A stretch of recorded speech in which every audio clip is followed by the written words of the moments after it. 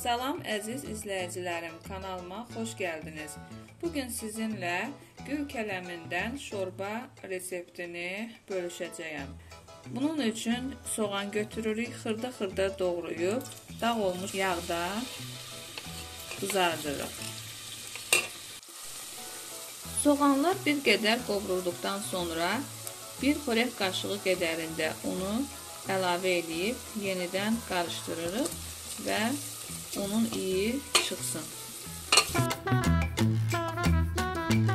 Daha sonra baxın bu şəkildə doğranmış bir kökü əlavə edirik. Bunları bir yerdə qovururuq. Daha sonra baxın bu şəkildə doğradığımız gül kələmləri əvvəlcədən mən yumuşam və bir qədər suda saxlamışam.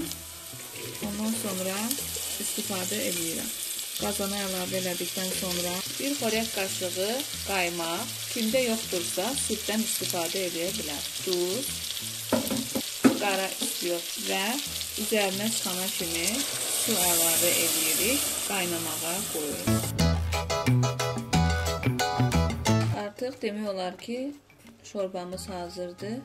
Gül kələmləri də yumşalıb. İndi isə blenderdən keçirdəcəyəm.